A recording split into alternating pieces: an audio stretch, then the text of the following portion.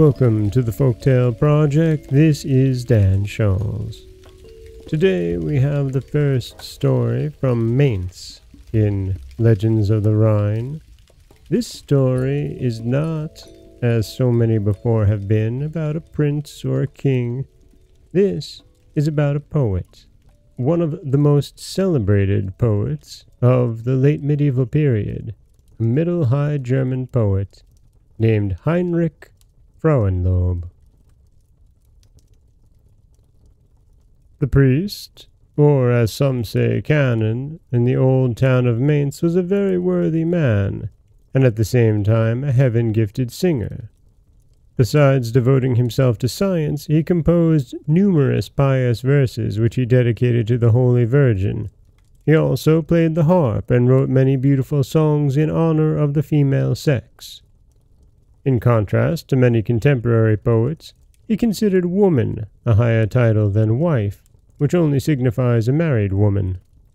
So, on account of the chivalry displayed in his numberless poems and songs, posterity gave him the name of Frauenlob, under which title he is better known than under his own name of Heinrich of Meissen. The love and veneration which thankful women paid him was very great, not only during his lifetime, but even more so after his death. Their grief was intense when it became known that the poet's voice would never more be heard in this world.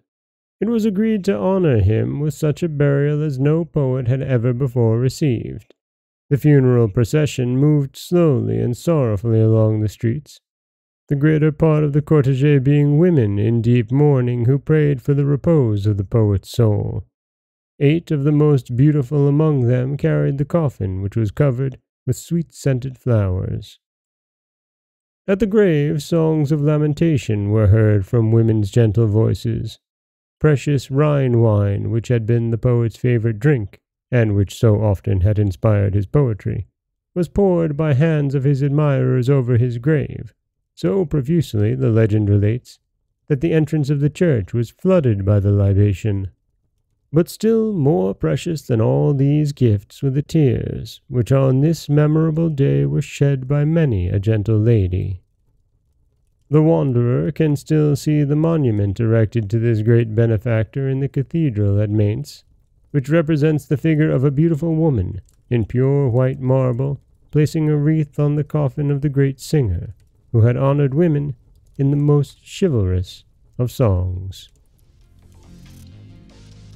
And that is the story of Heinrich of Meissen, a priest and a poet, and a most chivalrous man.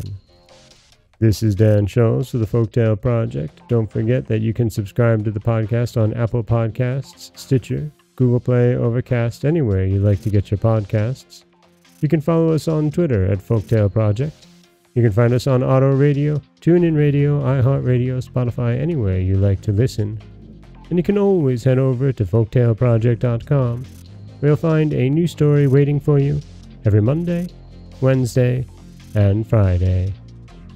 As always, thank you so much for listening.